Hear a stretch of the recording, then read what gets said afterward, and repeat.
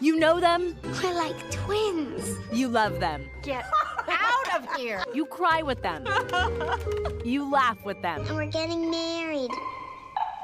Many of your favorite movies have one thing in common Nancy Meyers. And this time of year, one masterpiece from the writer, producer, and director is particularly popular. oh, yeah. The Holiday. The 2006 film starring Cameron Diaz, Kate Winslet, Jude Law, Jack Black, and Eli Wallach has grown a cult following.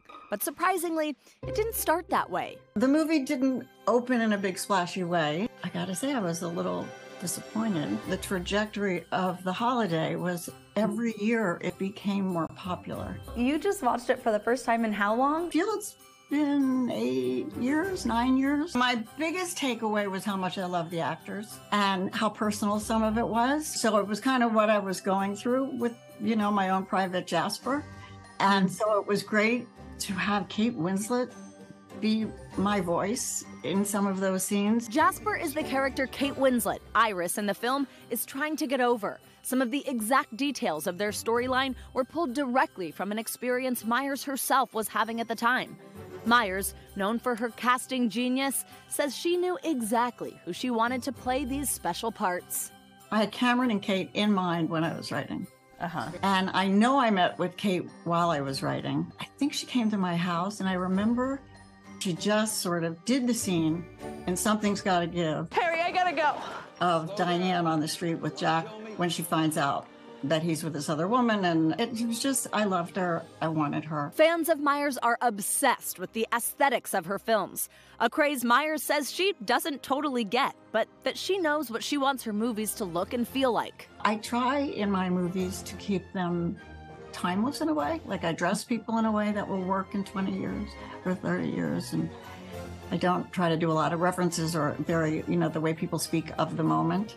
Hmm. So, so when I heard Blackberry, And you sleep with your Blackberry. oh, that one got by me.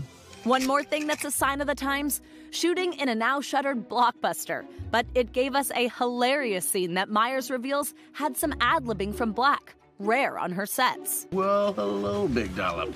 A small dollop and a big dollop. I don't think I wrote that, to be honest. I didn't say to him, this time do do do do. Leadin' dude and screw leadin' to. I let him go. And she really was laughing at him. Were you laughing on set during that? Of course, I laugh a lot. The sound guy's always telling me to shut up. And a special cameo was just a happy accident. Dustin was eating at a restaurant next door, so he popped in. And it was a long time when I went, What is wrong with me? We're talking about the graduate. Where have you gone, Joe DiMaggio? You want to just be in the scene and we'll just cut to you and you can whatever. We didn't do his hair, we didn't put makeup on him. That was what he wore to lunch. And he just said, Can't go anywhere. Another fun behind the scenes fact Meyers' intervention in a fan favorite scene Diaz dancing alone.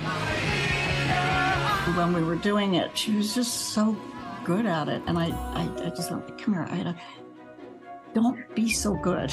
She said, what, what do you mean? I said, just be dorkier. That's why. It's a little clumsy and awkward, and that's what I wanted it to be. So you had to teach her or ask her to make it dorkier. Yes, I did. And as for those rumors of another installment, I've been asked to make a sequel a couple times, you know, and I think about it, and I just think it's good the way it is.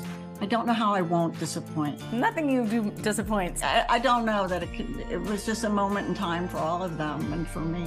and as for our favorite foursome, When you watch it, when you wrote it, where did you imagine they go? I don't I don't do that. When it ends, uh, it ends for me. But um, to make you happy, I believe they. Uh, I think they're all together. Great, right? And she was so nice to me as such a big fan saying that for me. All right, you may have seen yesterday this rumor totally went viral that there was a sequel for the holiday in the works. Gotta say, friends with Nancy now called her up. like now she's my friend. Yeah, actually, the, I, I, I called her. She said, as she posted on Instagram, no, it's not true, oh. but there is some good news. Get this. She had previously said she was retired. Well, she does have a new movie in the works. She wrote it during COVID for Netflix. It hmm. shoots in the spring. It's a movie about, it's a movie about making a movie. And like The Holiday, you guys, it also also has five leads, and Nancy promises it's really, really funny. I love it. It's just a good time. It's a fun movie. All of her movies, they're feel good. They are so feel good. They all have these really strong females in them too. Which she mm-hmm. says she wants women to be victorious in her movies. It's just, it was so incredible. And I love get to talk watching to you her. fangirl. Yeah, I know. Huge, as she knows. That's adorable. Like I said, I wrote Yeah. her this feel I email. you guys should She's stay in touch. I feel a friendship there. Thank you. so do I. I hope Yeah. so. Thank you you, so much, and keep the inside scoops coming as you get them. I love it. Hey, thanks for watching. Don't miss the Today Show every weekday at 11 a.m. Eastern, 8 Pacific on our streaming channel, Today All Day. To watch, head to today.com slash all day or click the link right here.